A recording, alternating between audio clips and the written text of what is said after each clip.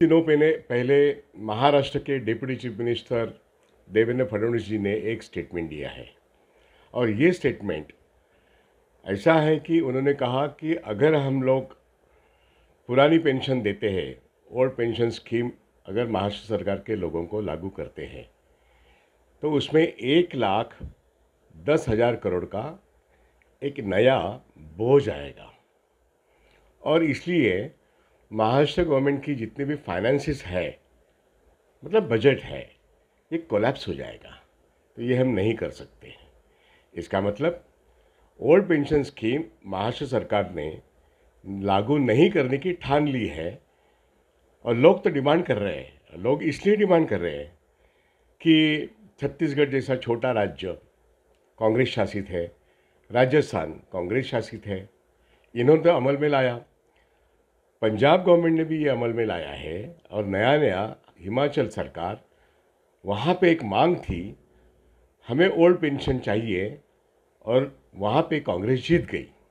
और उन्होंने कहा कि हम पहली कैबिनेट मीटिंग में ओल्ड पेंशन स्कीम के बारे में निर्णय डिक्लेयर करेंगे, क्योंकि हमने ये वादा किया है। मतलब हिमाचल में भी ओल्ड पेंशन स्कीम लागू होगी।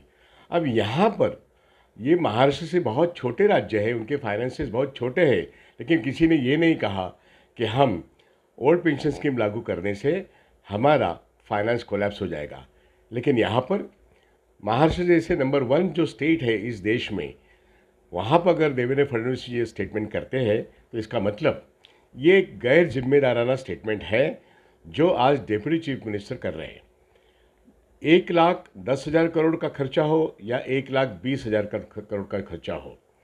आप अगर सप्लीमेंट्री डिमांड आज के तारीख में बजट आने के पहले तीन महीने बावन हज़ार करोड़ से भी ज़्यादा का सप्लीमेंट्री डिमांड लाते हो और उस डिमांड्स में बहुत सारे ऐसे खर्चे हैं जो लोगों के हित में नहीं है, कुछ बड़े कॉन्ट्रैक्टर और कारपोरेट्स के हित में है तो आपका परसेप्शन और सोच, महाराष्ट्र सरकार का सोच, ये सिर्फ़ बड़े लोगों के लिए है।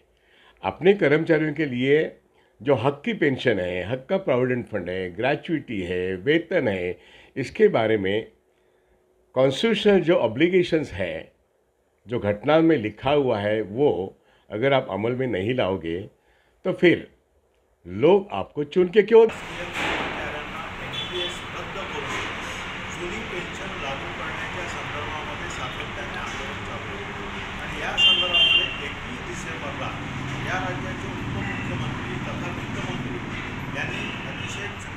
चुकीचं केलेलं आहे.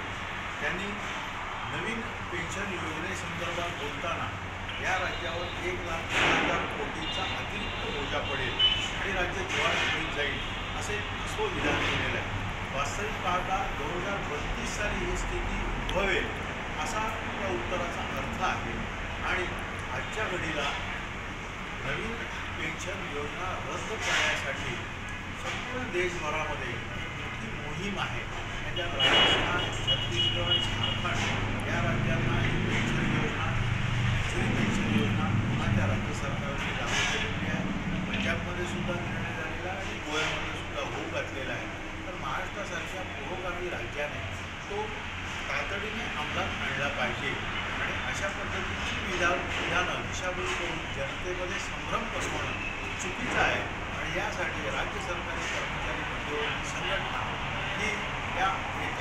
Jason